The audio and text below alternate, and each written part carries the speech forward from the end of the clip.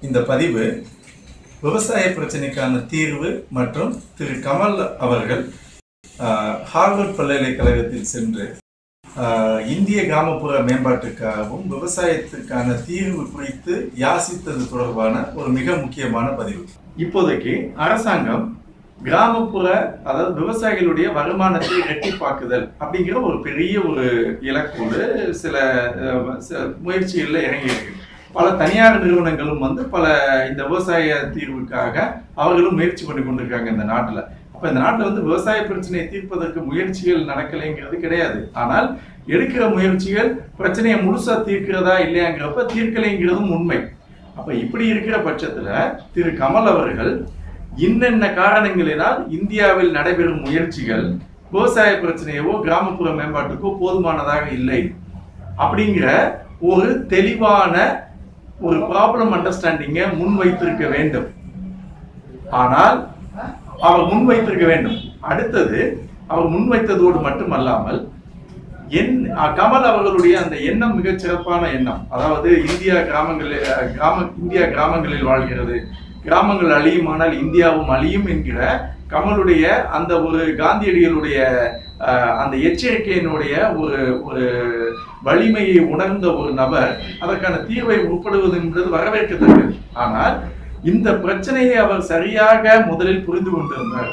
ஆனால் இந்த பிரச்சனைக்கான தீர்வை அவர் முதலில் இந்தியாவிடம் அல்லது இந்தியர்களிடம் அவர் முன்வைத்திருப்பார். இப்ப ஏன் இதை சொல்கிறேன்னா இந்திய விவசாயத்தினுடைய பிரச்சனை வந்து மிக தனித்தன்மையை வாய்ந்தது. இந்தியாவுடைய மக்கள் தொகை அந்த எண்பத்தி மூணு சதவீத சிறு குறு விவசாயிகள் ஒரு நாற்பத்தி அஞ்சு சதவீதம் தான் வந்து அஷூட் இரிகேஷன் இதெல்லாம் வந்து வானம் பார்த்த விவசாயம் தான் ஐம்பது சதவீத விவசாயிகள் தான் ஏறக்குறைய வந்து ஒரு அங்கீகரிக்கப்பட்ட நிதி நிறுவனங்களிலிருந்து லோன் பெறுது இந்த மாதிரி இந்தியாவுடைய அந்த நம்பர் கேம் வந்து இட் இஸ் கம்ப்ளீட் டிஃப்ரெண்ட் இது வந்து அந்த அளவு ஒரு எளிமையான ஒரு விஷயம் அல்ல.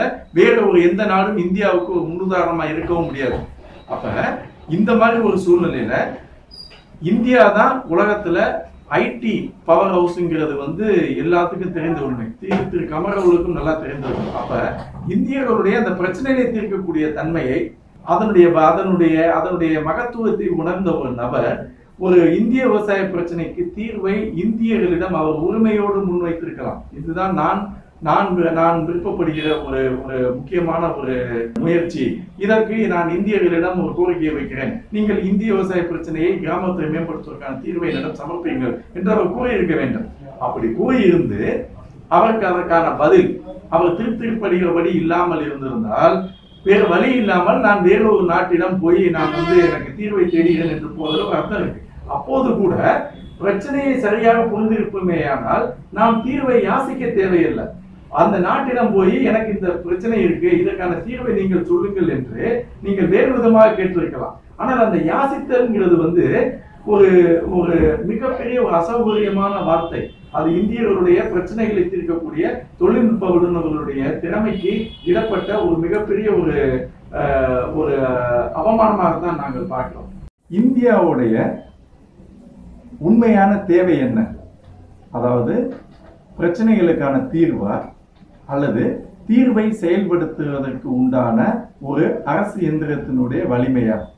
அப்படின்னு பார்த்தா உண்மையான பிரச்சனை வந்து தீர்வுகளுக்கு இந்தியாவில் பஞ்சம் இல்லை தீர்வை செயல்படுத்துவதில் உண்டான ஒரு நேர்மையான நாட்டு நலனை முக்கியப்படுத்தி செயல்படக்கூடிய ஒரு அரசு எந்திரம்.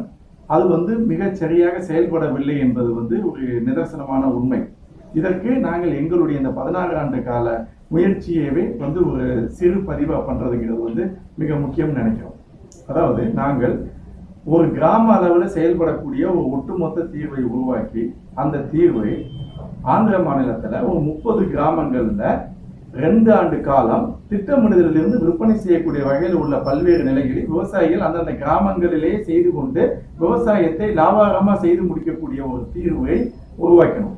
அந்த தீர்வு விரிவாக்கம் செய்யப்படுவதற்காக ஆந்திர அரசாங்கத்தில் வந்து சமர்ப்பிக்கக்கூடிய போது மத்திய அரசும் மாநில அரசும் சேர்ந்து செயலாற்றும் ஒரு மத்திய அரசு திட்டத்தின் கீழ் ராஷ்டிரிய கிருஷி விகாஸ் யோஜனா அப்படிங்கிற ஸ்கீம்ல வந்து மத்திய அரசினுடைய உயர் அதிகாரிகள் மாநில அரசினுடைய உயர் அதிகாரிகள் கொண்ட குழு இந்த திட்டத்தை பரிசீலித்து இந்த மாதிரி திட்டம் அதாவது இந்த பைலட் ப்ராஜெக்டோடைய ரிசல்ட்டை அவங்க வந்து பார்த்து அந்த அந்த அவங்க என்ன முடிவு பண்றாங்கன்னா இந்திய விவசாயத்துறைக்கான ஒரு முழு தீர்வா இது அமையும். அதனால இந்த திட்டத்தை நாங்கள் வந்து மாநில மாவட்டம் ஃபுல்லா விரிவாக்கம் பண்ண நாங்கள் வந்து அனுமதிக்கிறோம். இந்த திட்டம் வெற்றி பெறுகிற போது இந்தியாவுக்கான ஒரு முழு தீர்வாக இது வந்து ப- இது தன்னை வந்து முன்னிறுத்திக்கிறோங்கிற ஒரு ஒரு ஒட்டுமொத்த மதிப்பீடையும் வாங்கியிருந்தோம். ஆனால் ஆந்திர அரசாங்கத்தில் நேர்ந்த சில துரதிருஷ்டமான நிகழ்வுகளால் இந்த திட்டம் வந்து செயல்படுத்துவதற்கு முன்பே மிகவும் ஒரு கான்ஸ்பயர்டு அதாவது சந்தேகத்துக்கு இடமான முறையில் இந்த திட்டம் நிறுத்தப்படுது.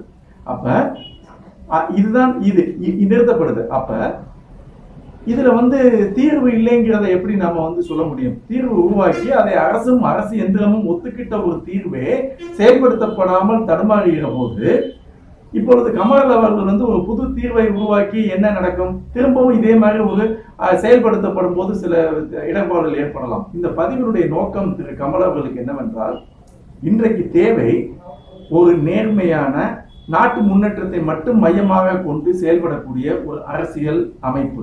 ஒரு அரசு அமைப்பு இருப்பதுதான் மிக முக்கியமான தேவை. அப்படி இருக்கும்போது இப்போ நாங்கள் வைக்கும் இந்த விவசாய தீர்வு போல ஒவ்வொரு பிரச்சனைக்கும் இந்தியாவில் இருக்கக்கூடிய எவ்வளவோ பிரச்சனைகளுக்கான தீர்வுகள் ஏற்கனவே உருவாக்கப்பட்டிருக்கலாம்.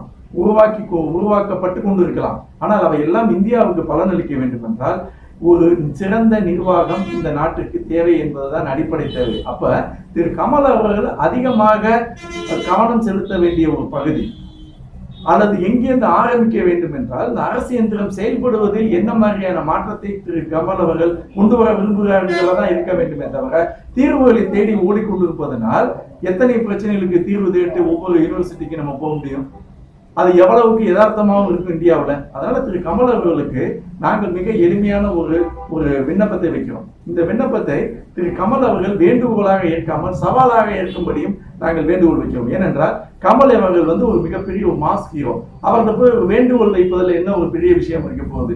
எங்களுடைய இந்த வேண்டுகோளை கமல் சவாலாக ஏற்று விவசாய பிரச்சனை குறித்து திரு கமல் அவர்கள் வந்து ஒரு நேரலை கலந்தாய்வுக்கோ அல்லது வந்து ஒரு டிபேட்டுக்கோ கமல் அவர்கள் முன் வருவார்களேயானால் ஒட்டுமொத்த நாடும் விவசாயிகளும் அந்த ஒரு நேரலை விவாதத்தை கவனிப்பார்கள். உண்மையிலே இந்தியாவில் விவசாய பிரச்சனையில் நடப்பது என்ன? அதற்கான தீர்வு என்னங்கிற விஷயம் நாடு முழுவதும் உள்ள விவசாயிகளுக்கு இந்த நாட்டு மக்களுக்கு ஒட்டுமொத்தமாக போகும். அதுதான் தீர்வினுடைய ஆரம்பமாகவும் அமையும். அதனால் நாங்கள் கமலிடம் வேண்டுகோள் வைப்பது என்னவென்றால் நீங்கள் வந்து ஒரு சேலஞ்சை விரும்பக்கூடிய ஒரு நபர். அதோடு இல்லாமல் இலக்கியம் தெரிந்த ஒரு நபர் எப்பொருள் யார் யார் கேட்பினும் அப்போது மெய்ப்பொருள் காண்பதறிவு என்ற குரலுக்கு விளக்கம் தெரிந்த நபர். அதனால் நாங்கள் எங்களுடைய பதினாறு ஆண்டு கால சின்சியாரிட்டியினுடைய அடிப்படையில் நாங்கள் ஒன்றை முன்வைக்கிறோம். அதனால் இதற்கு தாங்கள் தகுந்த மதிப்பளித்து இந்த எங்களுடைய வேண்டுகோளை சவாலாக ஏற்று ஒரு நேரலை விவாதத்துக்கு கமல் அவர்களை வரும்படி நாங்கள் வேண்டுகிறோம். தங்களுடைய அன்பான அழைப்பிற்காக காத்திருக்கிறோம். நன்றி வணக்கம்.